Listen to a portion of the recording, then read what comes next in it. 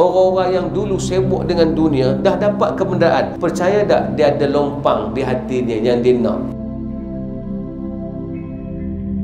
Saya dapat bersembang dengan dua tiga orang bila mereka bercakap mereka suka menunjukkan perkara negatif. Itu bahaya sebenarnya. Contoh bila kita kata, "Hmm, orang kita ni kalau dah kaya lupa diri. Orang kita ni kalau dah ada duit mula tak tak mai surau sebenarnya berapa kerat saja yang ada kekayaan tak mari surau. Hari ini ramai orang-orang kaya yang sudah ada kekayaan. Percayalah cakap saya dia nak datang ke surau. Dia nak mari ke rumah Allah. Sebab dia nak apa lagi? Manusia ini dia fakir. Tetap dia fakir. Tonton jangan ingat bila dia dah kaya dia tak ada kehendak lain. Kalau kita faham maksud fakir kita akan faham manusia itu apa. Contoh kita kata adalah mungkin rakan kita hari ini agak sibuk. Dia tak mari surau dan masjid dia buat kerja di luar sana berniaga dan sebagainya. Kita jangan judge awal dia. Ini dalam tempoh dia berusaha buat sesuatu. Kita kena bagi semangat dekat dia. Kita kena engage terus dengan dia. Tak apa sibuk tapi jangan lupa rumah Allah. Kalau sempat marilah. Kalau tak sempat tak apa. Tapi jangan lupa. Kita jangan sembang belakang dia. Kita kata mamat tu lupa diri dah. Dah kaya tak mai dah. Hmm, dia macam tu lah.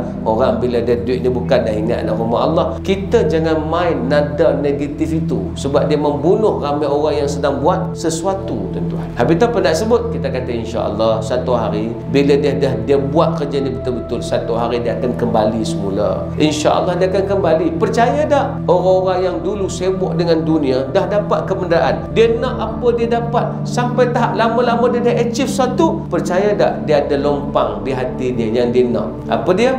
Dia nak bermunajat Dia nak cari orang nak bagi duit Dia nak jumpa orang yang betul Dia nak cari pengisian Yang selama ni dia tak sempat dan dia tak dapat Ni fakir Jangan ingat orang kaya tak teringin nak pakai MyV. Tentu jangan salah faham. Berapa banyak orang kaya yang pakai MyV, yang pakai kereta-kereta lama. Pakai kereta lama, nu kereta Datsun lama masih pakai buat elok-elok. Maknanya orang ni dia ada benda-benda klasik yang dia nak, dia suka. Dia tak boleh nafi benda tu. Maknanya kok mana dia pakai kereta besar, dia teringin juga ada kereta kecil. Saya pernah jumpa orang kaya. Saya tanya Datuk paling teringin apa dia? Saya paling teringin nak naik kereta api. Tak pernah naik kereta api. Dia naik kereta dengan kapal terbang. Jangan main-main tuan-tuan. Maknanya manusia ni kok mana dia senang dia suka dia happy ada benda dia kena penuhi. Jangan ingat bila dia ada duit dia akan pegang. Bila dah dah semua dia pegang akhir sekali dia teringin nak bagi. Masa dia nak bagi itulah. Kita kena buka jalan